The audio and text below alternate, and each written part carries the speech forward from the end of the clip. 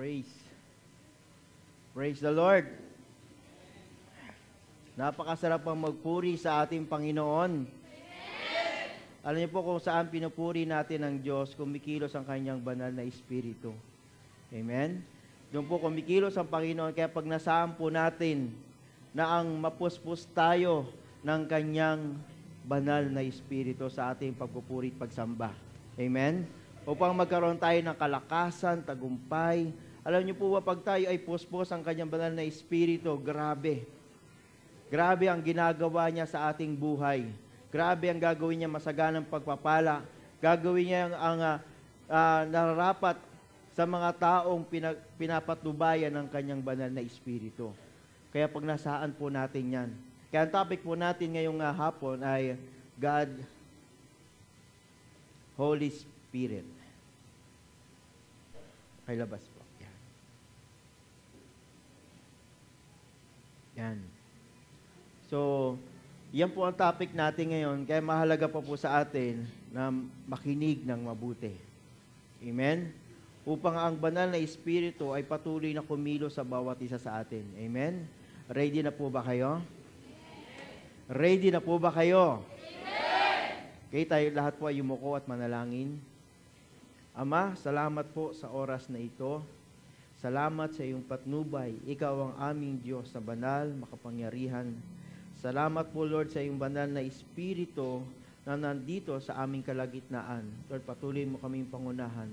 Lord, I pray, you Holy Spirit will come in this place, O God, at buksan mo ang aming kaisipan, ang aming spiritual mind, upang maunawaan po namin ng iyong banal na salita, sapagat nais mo na aming purihin ka at sambahin sa Espiritu at katotohanan. Salamat po, Ama, sa pangalan ni Jesus. Amen. Sumigaw nga tayo ng hallelujah! Hallelujah! Okay. So sabi nga, kailangan natin ng banal na espiritu. Kasi noon, papansin po natin, nung time na nagkasala si Eva at Adan, anong nangyari? Lumayo ang banal na espiritu ng Panginoon. Namatay ang kanilang relasyon sa Diyos. Kaya itong banal na espiritu, ito yung nakikipag-ugnayan sa mga taong may espiritual ang pag-isip, hindi makamundo. Kaya kung babasahin po natin, ano ba ang banal na espiritu? Kasi may mga tao sila sabi, ah, alam ko yung Holy Spirit. Yung iba nga, hindi naniwala sa, sa Espiritu Santo. Hindi sila naniwala sa banal na espiritu. Akala nila Diyos o wala ng banal na espiritu ang kumikilos. Pero ang totoo, ang espiritu ng Diyos ay patuloy na kumikilos. Kahit noon wala pa tayo. Amen? Sabi mo sa katabi mo, totoo ba yun? Okay, basahin po natin sa Genesis chapter 1, verse 1 and 2. Nang pasimulang likhain ng Diyos ang langit, ang lupa. 2. Ang mundo noon ay wala pang anyo at wala pang laman. Ang tubig na bumabalot sa mundo ay bumabalot sa kadiliman at ang Espiritu ng Diyos ay kumikilos sa ibabaw ng mga tubig. Kung papasin po natin, wala pang anyo. Wala pang anyo ang earth. Wala pang anyo ang mundo. Pero ang sabi diyan, ang Espiritu ng Diyos ay kumikilos sa ibabaw ng mga tubig. Nasaan ang Espiritu ng Diyos? Ha? Parang gusto ko sumayaw ah. Number seven. Number three. Okay. Ayos na po. Uh, may kakanta ba? Wala naman. Okay. Ah, good. So sabi diyan, ay, umulit na naman, pamira. Parang sasayaw na ako dito. Ah. Okay na? Ayan. Okay na po? Ayan. Good. So, nasa ang Espiritu ng Diyos? May tao na ba yan? May, may uri na ang mundo? Wala pa. Kaya sabi diyan, ano ba yung espiritu ng Diyos? Ano ba ang meron sa banal na espiritu? Alam niyo po ba, napakaganda at napakagaling pag tayo ay merong Holy Spirit. Napuspos tayo ng banal na espiritu ng Diyos. Kasi ang mga taong walang, walang uh, patubay ng banal na espiritu, iba ginagalawan. Iba ang kanyang ginagawa. Kung mapansin po natin, yung ilaw, pat parang ganun. Ha? Mapansin ko yung ilaw ba? Okay na ba? Okay na? Ayan. Ayos na ba? Yan. Okay. Mas pogi na ba? okay. Nasaan tayo? Sa church? Okay, nasa church. Okay. So, sabi nga, yung Holy Spirit, sabi ay pumapatnubay. Pag ang tao, walang banal na espiritu, iba yung galaw. Kasi mo, pag ang tao puspos ng uh, alak, ano galaw niyan? Ha? Dasing, ganun galaw niya, di ba? Toma, toma, di ba? Pag ibang tao puspos ng yabang, anong nangyari? No, kung lumakad dyan, kala mo, yaman-yaman, di ba? Wala namang pera. Kung magsalita, ako, ang dami kong cellphone, ako, ang dami kong sakyan, ako, ang dami kong bahay, ang dami kong chicks. Parang ibang pumupuspos sa kanya. Pero ang taong pinupuspos ang banal na espiritu, nagkakaroon niya ng wisdom. Nagkakaroon ng talino na makalangit. Kaya dapat, yung banal na espiritu ng Diyos ay pagnasaan natin. Ibaga, yung banal na Espiritu ng Diyos dapat hinihiling natin yan. Lord, I need. Kailangan ko yan. Alam niyo po ba po, meron tayong Holy Spirit na kusaya-saya ng ating buhay. Binibigyan tayo ng kalakasan. Amen? Kaya napakahalaga yon na meron tayong banal na Espiritu at lumalakad tayo ng tagumpay.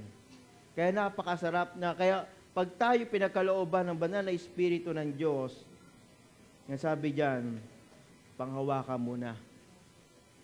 Amen? Kapasin mo, pasinin po natin sa Exodo 35, verse 31. Sabi, sabi po dyan, at kanyang pinuspos ng Espiritu ng Diyos tungkol sa karunungan, sa pagkakilala sa mga kaalaman at sa lahat ng sari-saring gawain. So sabi diyan, anong pumuspos? Espiritu ng Diyos. Tungkol saan? Sa karunungan, sa pagkakilala, sa kaalaman o wisdom, at sari, sa iba pang sari-saring gawain. Sipin mo, ang Holy Spirit pala, pag tayo pinuspos ng Diyos, nagiging wise ka. Amen?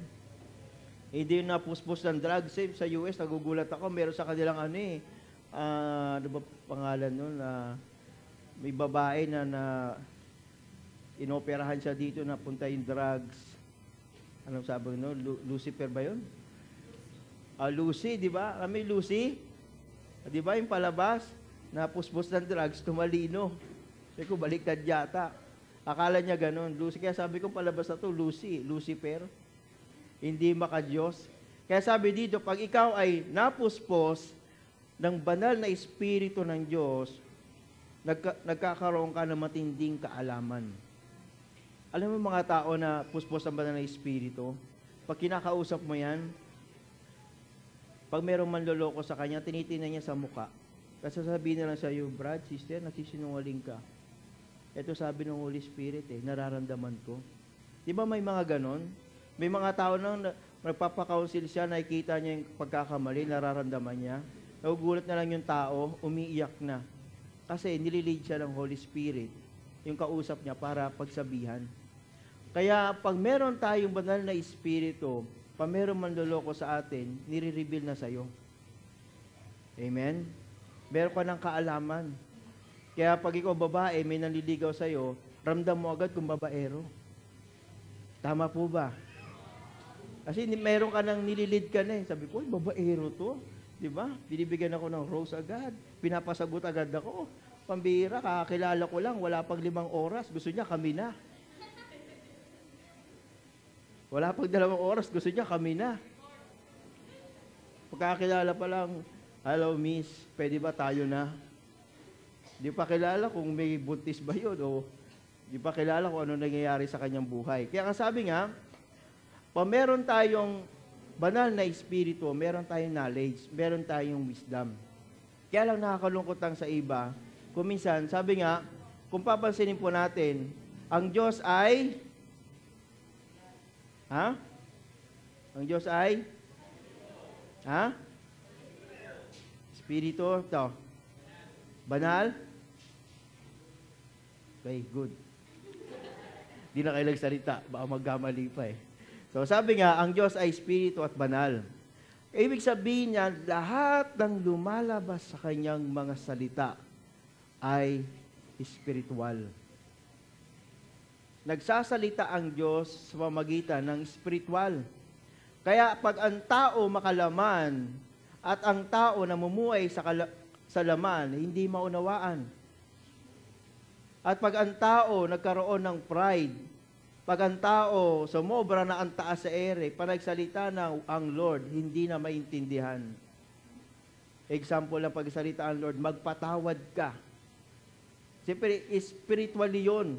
Sinabi ng Diyos, pag hindi ka magpatawad, hindi rin kita patatawarin.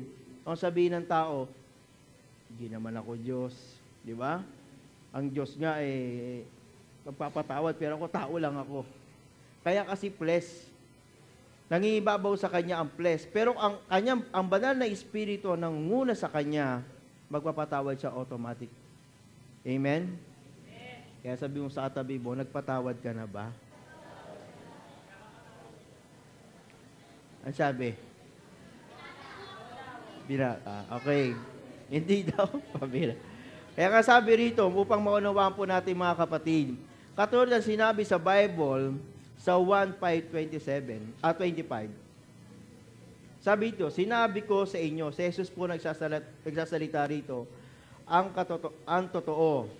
Darating ang panahon at dumating na nga na marinig ng mga patay ang salita ng Diyos.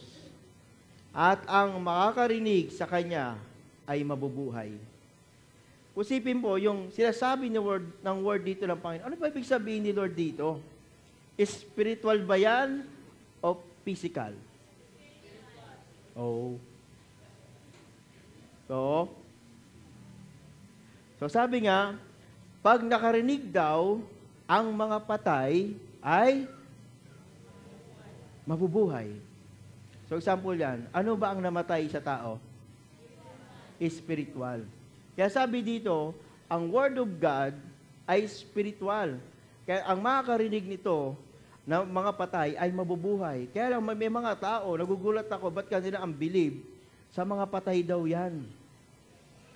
Totally patay. Physical. Yung nakalibing. Sabi ko, paano makakarinig yun? Kung ang sinasabi ng Diyos dito ay physical, hindi spiritual, eh mga ngaral na ako sa sementeryo. Sasabihin ko na sa mga patay, magsisi na kayo para mabuhay kayo. Ang sabi ng mga patay, walang naririnig. Patay nga eh. Kaya sabi dito, ang tinutukoy ng Panginoon dito, mga patay, nung sila ay sumusuway. Naunawaan po natin? Kaya nga may mga tao na naniwala sa ko, yung mga patay, tawagin ninyo para maligtas. Sa ko, ang hirap nyon. Kung patay ay pwede maligtas, tatawagin ko na lahat na sa impyerno. O lahat na sa impyerno, bumangon. Tanggapin nyo si Lord. So, ibig sabihin na, upang maunawaan po natin yung Word of God, kailangan meron kang banal na Espiritu.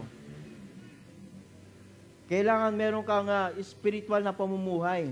Kaya may mga tao kaya nga, may mga tao sumasangguni sa masamang espiritu, ay ayaw ng Lord yon. Alam niyo po ba yon, mga kapatid? Pwede ba tayong makipagsangguni sa mga albularyo? Kung tayo ay namumuhay espiritual?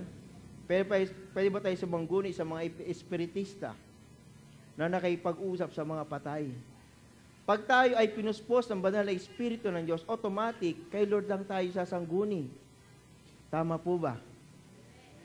Kaya nga sabi sa Levitico 9:31, 1931, huwag kayong sasangguni sa mga espiritistang nakikipag-usap sa mga kaluluwa ng mga patay. Dahil kapag ginawa ninyo ito, ituturing kayong marumi. Ako ang Panginoon ninyong Diyos. Kaya sabi diyan, huwag tayong sasangguni. Pag tayo spiritual na, pag tayo ay namumuhay na as a Christian, hindi na tayo dapat tayo masangguni sa mga ganon. Meron ba sa atin nagpapahula? Nako, sino, sino kaya tatama ngayon, di ba? Kung totoo manghuhula, araw-araw, may nanalo sa loto. Tama po ba? At walang manghuhulang naghihirap. Lahat yan, big time. Lahat yan talagang naka-Mercedes. Nakatira doon sa Corinthian. Totoo yun. Minsan, natatsambahan ng tao. Panatsambahan, bilib na bilib na. Ay, totoo yun. Totoo nga yun. Totoong nangyari sa akin yun. Ano nangyari? Nandun na siya habang buhay. Hirap na hirap na. Paniwalang paniwala. Kaya kung minsan dapat maunawaan po natin. Kung minsan may mga tao, merong tawag yan, merong telekinetis ba yun, matawag doon. Sila sabi, Brad, mukhang naghihirap ka. Eh, totoo naman, siyempre, isuot niya, butas-butas. Tapos pagkakita ng mayaman, Brad, mukhang nag-aasenso ka. Eh, totoo naman, nakikita physical. Eh, sabi siya, ah, ganito mangyayari sa'yo. Huwag kang magpapautang. Kasi hindi naman magbabayad. Ay, oo nga, maraming hindi sa akin nagbabayad. So, nagiging, sabi diyan, nadadali tayo, kaya dapat maunawa natin ang ating spiritual life. Amen? Kaya tayo mga Kristiyano, pag tayo ay napuspos ng banal na Espiritu, meron tayong kalakasan. Meron tayong tagumpay. Kaya nga sabi nga, upang maunawaan po natin ng gusto, sa 1, 1 John 4, 23 to 24. Subalit dumarating na ang panahon na ngayon na, na ang mga tunay na sumasamba sa Ama ay sasamba sa Kanya sa Espiritu at sa katotohanan. Sapat ganito ang uri ng pagsamba na kinalulugdan ng Ama.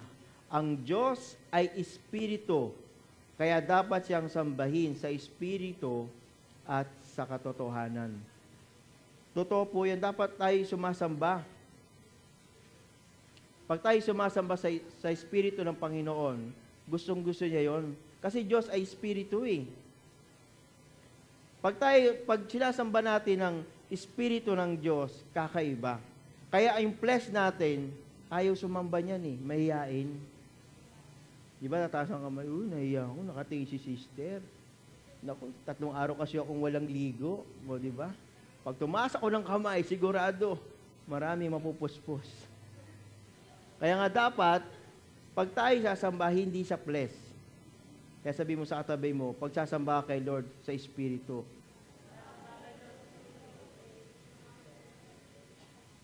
Kaya tayo, tayo ay muling binuhay na ni Lord eh. Pag, pag tayo samba kay Lord, dapat totoo. Kaya nga sabi sa Epeso, pakibalik po sa Epeso,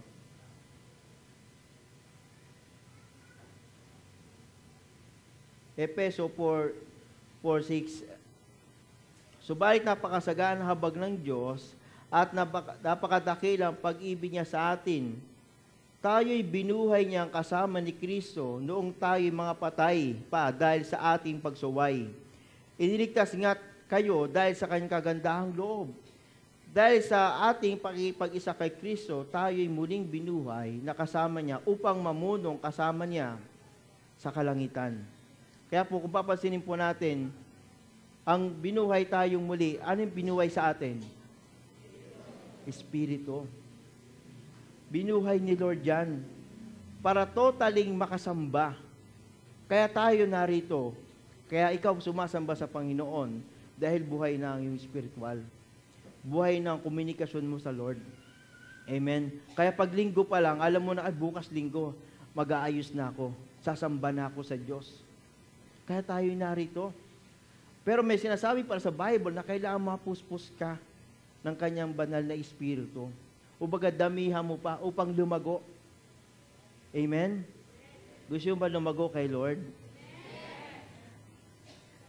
Kaya sabi sa Galatia 5 verse 25, dahil, at dahil nga namumuhay tayo sa kapangyarihan ng banal na Espiritu, magpatuloy tayo sa patnubay nito. Huwag tayo maging mapagmataas. Huwag nating galitin ang ating kapwa at iwasan ang inggitan. Sabi diyan, anong gawin natin patnubay natin? ang banal na Espiritu. Gagawin nating patnubay sa ating buhay. At sabi diyan, huwag nating gagalitin ang ating kapwa. Iwasan natin ang inggitan. Kasi pag wala yung pag wala yung espiritu ng Diyos sa atin, mahirap. Kasi pag mo pag ang tao hindi pusbos ang banal na espiritu, lagi naiinggit. Buti pa siya, may bagong cellphone. Buti pa siya, magaganda yung anak. Yung anak ko, pambihira. Hanggang gayon, sargo pa nilang ilong. Pabelo ko kaya. Kaya sabihin, yung pag naiinggit, nagkakaroon ng problema. Buti pa sila, may kotse, buti pa sila, ganun. Pero pa may spiritual life ka na, kahit anong meron sa'yo, nagiging masaya ka. Nagkakaroon ka ng kontento. Dahil alam mo, isang araw, iiwan mo yan at haharap tayo sa Diyos. Tama po ba? Nagkakaroon kontento sa buhay. Tinatanggap mo na ngayon kung ano meron ka. Noon, nung wala tayong banal na espiritu, nako, grabe. Maingit tayo, magalit tayo, matindi. Pero nung tayo ni pinapatnubayan ng banal na espiritu, how, ang sarap ng buhay. Kahit gaano kalupit, kahit gaano tayo nagugutom, nagkakaroon tayo ng pagtitiis. Amen? Kaya gusto nyo bang tanggapin ang banal na espiritu ng Diyos? Gusto nyo ba? Amen. Kaya sinabi sa Joel 2.29, 28 to 29. Basahin po natin sabay-sabay. 1, 2, 3.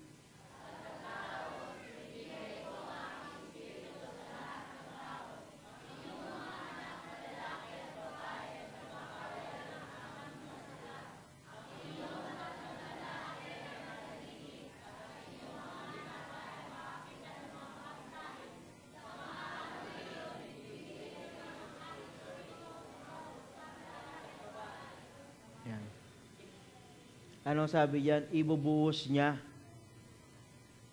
Ibibigay niya ang kanyang banal na espiritu sa mga tao. So, bakit? Para maging matatag tayo. Kaya lagi yung, sabi mo, Lord, ibibigay mo pala ang yung espiritu. Na, napag-aralan, natin itong uh, sa Exodo, di ba? Yung binigyan ng espiritu ng Diyos, nagkaroon ng wisdom. Nagkaroon ng talino. Eh lalo na, sabi niya, ibibigay niya ang kanyang espiritu sa lahat ng mga tao. Alam mo, ganun pala, kailangan pala natin ng banal na espiritu ng Diyos. Kasi kung wala tayong banal na espiritu ng Diyos, ang hirap lumaban sa mundong ito. Kung physical sa physical lang, nako, magagalit tayo. Titigan nga lang tayo noon, nung wala tayo sa Panginoon, galit na tayo eh. Ba't mo ako tinitingnan? O ganun. Yung pala, may kulangot ka, laki-laki, gusto tanggalin. Si Brad kasi, sabi, ano ngayon? Kulangot ko to. Di ba? Kaya dapat maunawaan po natin. Kaya as a Christian, maunawaan po natin kung ano ba yung ibubuhos ng Espiritu ng Diyos. Amen? Sino ba sa atin meron ng Holy Spirit? Taas kamay. Taas kamay. Di ba? Kasi mo meron ka ng Holy Spirit. Di ba? So, papag-aralan po natin dito. So, kailangan magkaroon tayo nito. Okay? Next slide the fruit of the Holy Spirit. Yan. Okay, by basa, isa-isa, tuturo ka kung meron tayo nito, ha. Number one. Ano sa Tagalog yan? Gentle, basta gentle. Ha? Ha? Ha? Hapon?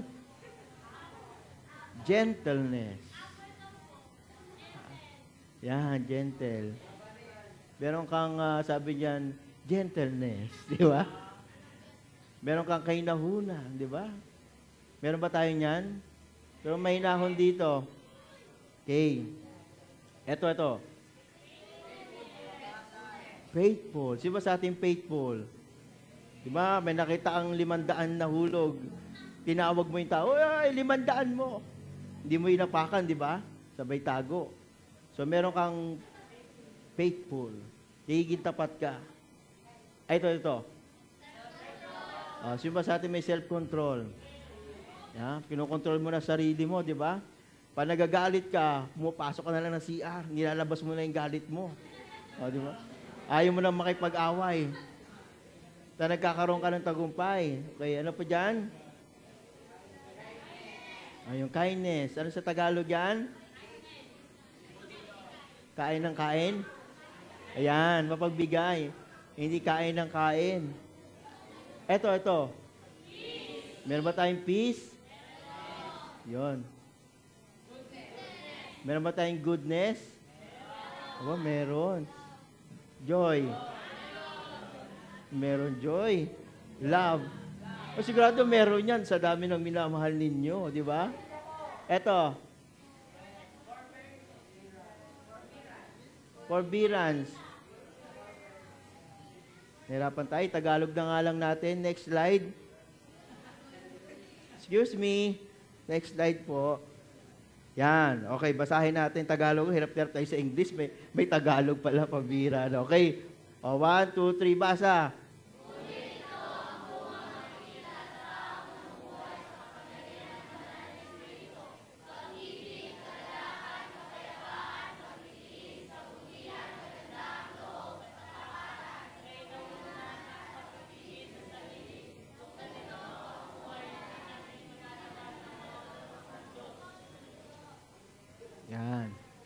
O, linaw na ha.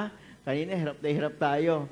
Ang namumuhay pala at yung meron palang tanda ng bunga ng banal na espiritu ay merong pag-ibig. So pag pag-ibig yan, pag sabi meron kang pag-ibig, lahat pinapatawad mo. Kahit gaano katindi yung kasalanan niya. Amen? Natututo ka. Kasi meron ka ng bunga ng banal na espiritu. At sabi niyan, meron kang kagalakan. Kaya ang mga taong laging nakangiti, may bunga yan ng banal na espiritu. Pumapasok kayo sa church sa angiti, nakaganon. Di ba? Kahit kumukulusik mo na, krok, hello sister. Di ba? Parang ibang, krok, krok. Okay ka lang, Brad? Okay lang ako. Kasi nga, meron kang kagalakan. Ano pa? Meron kang kapayapaan. Kasi alam mo na ngayon kung saan ka pupunta. Pag tayo kinuha ng Diyos, alam mo na. Eh noon, hindi. Ako, kaya nga, ang tao noon eh, parang takot mamatay. Pero na kay Kristo ka na, naku, okay lang. At meron ka ng pagtitiis. Natututo ka na magtiis. Kahit gaano katindi ang hirap ng buhay, patuloy ka sa Panginoon. Patuloy ka sa kanyang kabutihan. Sabi niya, kabutihan yung yung kabutihang asal. Nakikita na sa iyo yun. Kaya magugulat sa iyo yung mga tao eh. Sabi ng mga tao, Brad, bakit? Parang okay na okay ka. Parang cute-cute mo lagi. Di ba? Parang nakikita ko sa iyo hindi ka mayabang. Kasi na, nakikita na impression ng sarili mo na meron ka ng banal na espiritu. Sabi niya, at kagandahang loob. Kagandahang loob at kapayapaan. Kainahunan at may pagpipigil ka na sa sarili mo. Kaya sa atin, tayo mga Kristiyano, na, naasim po natin yon. Asamin natin, Lord, ibuhos mo minsan pa sa akin ang iyong banal na Espiritu. Amen. Ready ba kayo, mga kapatid? Ready ba kayo? Kaya sabi sa next slide, Come, Holy Spirit, I need you now. Kailangan ko, Lord, ang banal mong Espiritu. Amen? So, gagawin po natin mga kapatid, tumayo po tayong lahat.